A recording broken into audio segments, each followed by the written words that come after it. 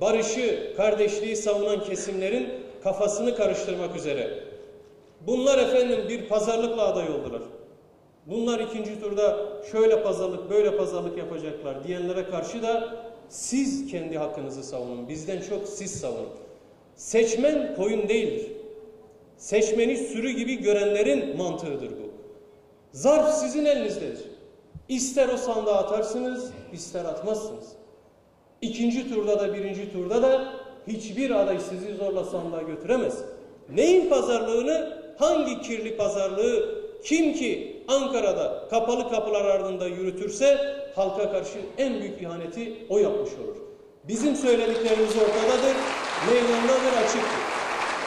Bunun dışında asla asla bir tutumumuz, asla bir yaklaşımımız olmadı, olmayacak.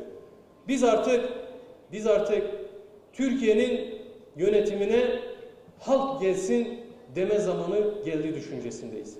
Cumhurbaşkanlığı seçimi bunun ilk adımıdır. İlk fırsatıdır. Önümüzde genel seçimler var. İnanın ki artık parlamentoda işçilerin, emekçilerin temsilcileri daha fazla olacak. Doğrudan Alevilerin temsilcileri daha fazla olacak. Arap'ın, Çerkez'in, Ermeni'nin, Laz'ın, Gürcü'nün kendi temsilcileri parlamentoda daha fazla olacak. İşte